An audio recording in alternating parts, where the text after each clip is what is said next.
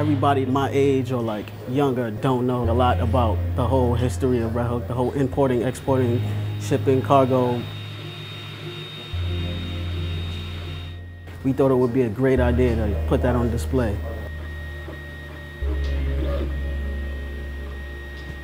For this event, we are learning ourselves and also teaching about the history of the neighborhood, but we're using 3D printers to do it by creating a boat race that's modeled on the shipping history of the neighborhood.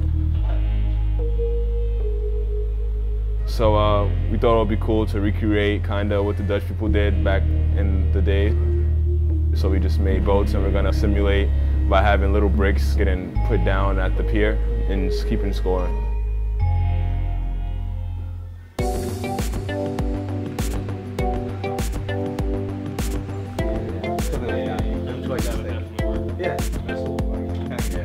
The Red Hook Regatta is a collaboration between Pioneer Works and the Red Hook Initiative, uh, and more specifically the Digital Stewards Program within the Red Hook Initiative.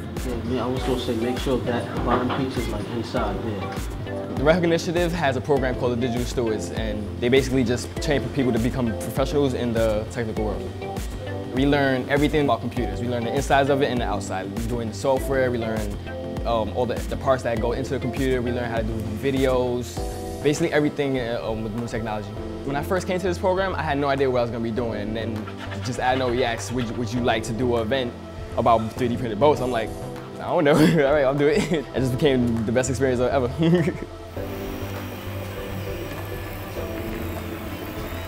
Having hands-on experience with 3D printing now is, I think it's great. You know, it opened up a whole new side of technology I didn't think that I, I knew or I could learn, you know, so you can build whatever you want, you can do whatever you want with 3D printing, so it's great.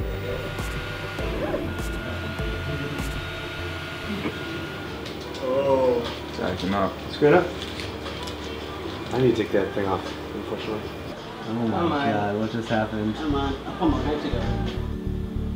Up until the last couple weeks, before we had seen a fully assembled working boat, you know, I think in all of our minds, there was still the question of, is this gonna work?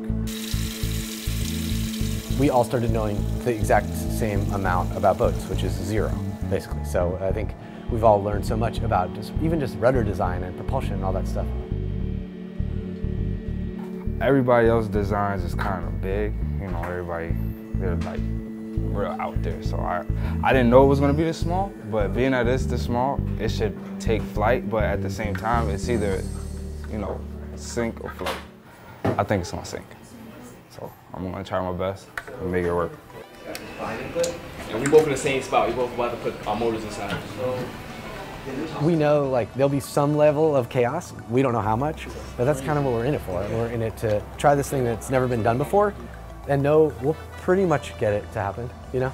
I think like pretty much is, for me, is a success.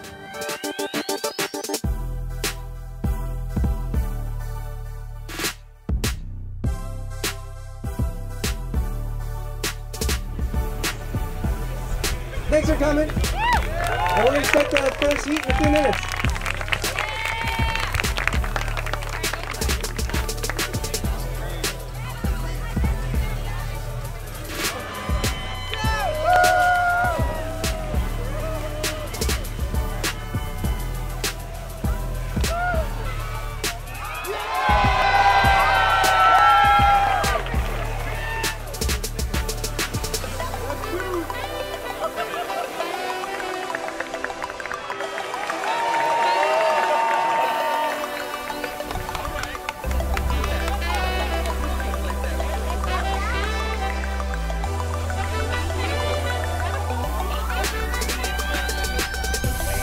Did somebody score? I can't see over there.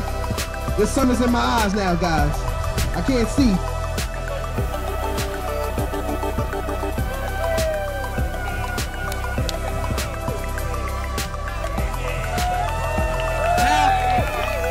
Now we have a situation with our first place where John's boat scored seven points, but is now not operational. Jesus' boat scored six points and is semi-operational. So what we're going to do, after a long, hard decision, is we are going to share first place of this competition between Jesus and John because we cannot say that either of these guys did not win this race. It's freaking amazing. Like everybody came outside, everybody came came to see us do, do this little event, and it was just awesome. It was amazing. I didn't think everybody would show. I thought it was gonna be at least 30 people. It came out to at least 100, right? Pretty cool, pretty cool. I had an amazing time. Uh, we, we made a few mistakes. You know, everything that like kind of went wrong with today's event, we'll take it, go back to the lab, revamp it, and come back out next year for part two.